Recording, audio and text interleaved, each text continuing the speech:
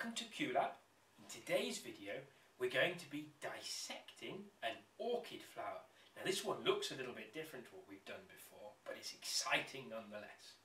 What you can't see is I like to keep the room nice and tidy for when I do this bit of videoing but my wife's been baking so the table has got cookies on it.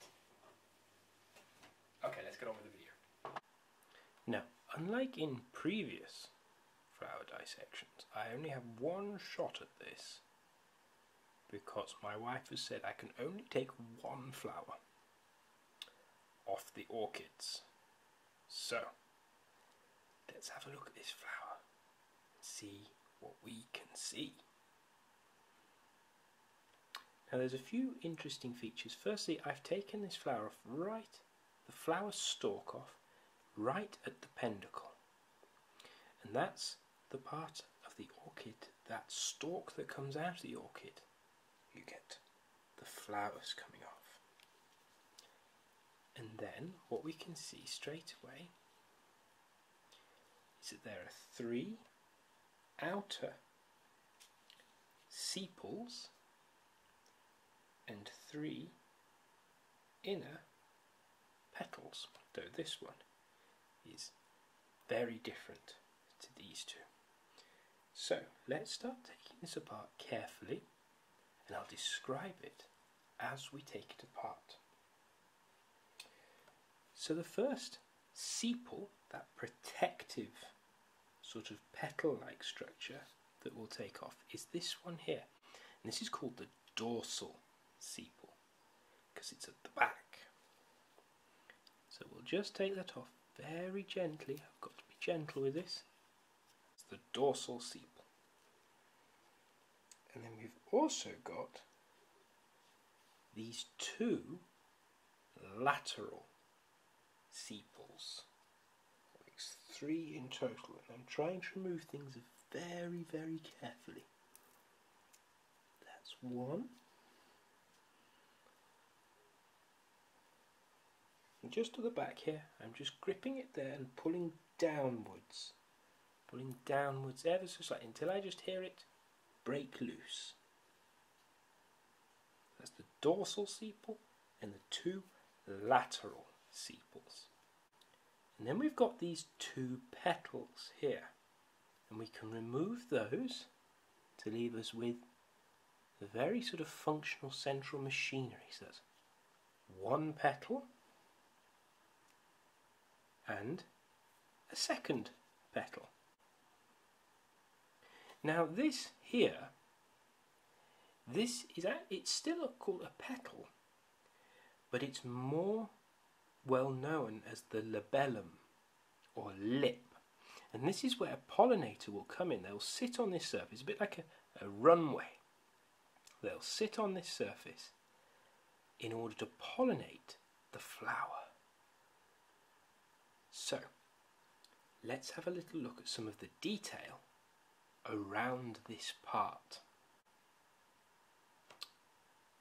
Now it's important to note that there are two sort of lobes here and they are protecting the central part here. I'm going to try and use magnifying glass to show you it a little bit better.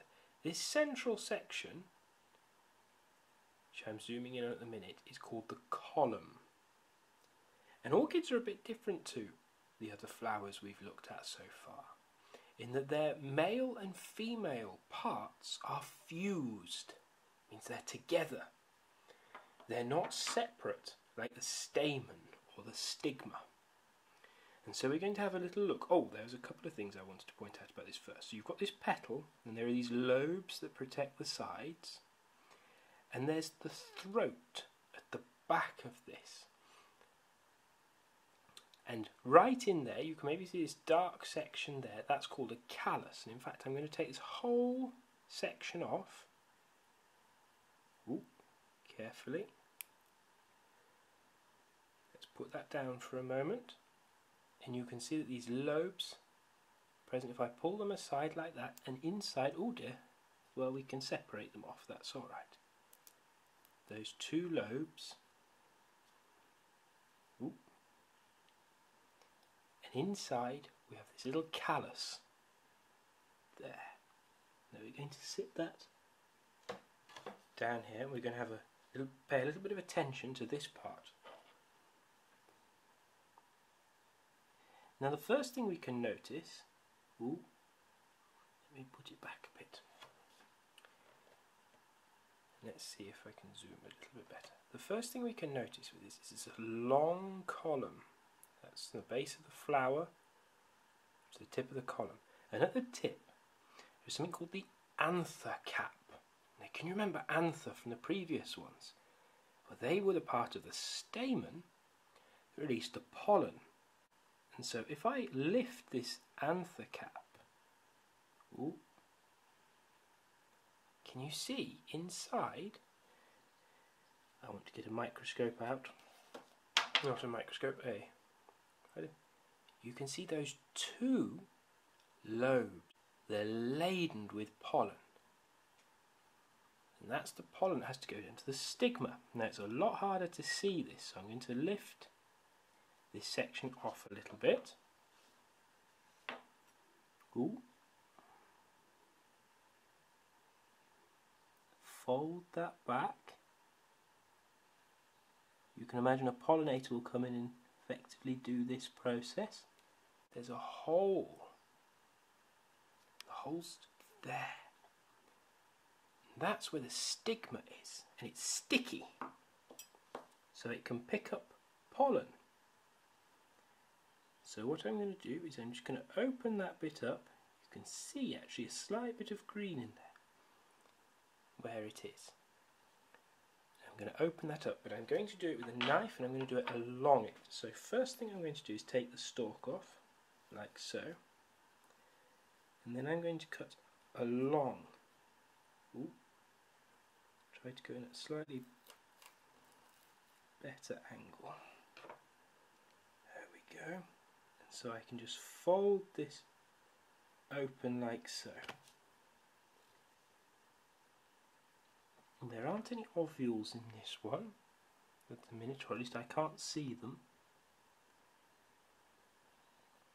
But you can see there where the stigma would be for the um, pollen to stick to. So let's rearrange this guy.